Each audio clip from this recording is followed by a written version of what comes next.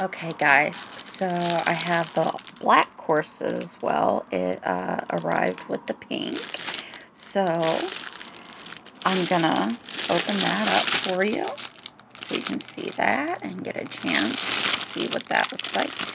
It is lace and it's embroidered. The pink one I got in my size, but for whatever reason, and I even got it in a size larger, uh, it doesn't fit. So the pink one I'm going to have to send back and get another one.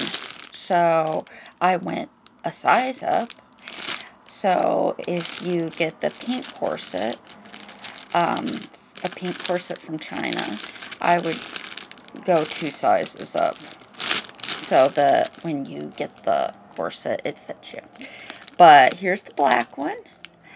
And yeah, unfortunately this one was made in China but hopefully it will fit me and I don't have to send this one back too.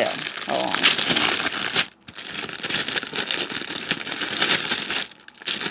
That's really irritating.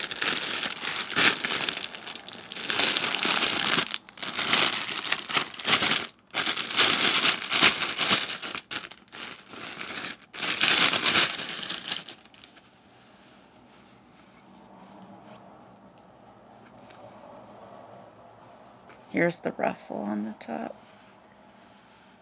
Here are the beautiful flowers.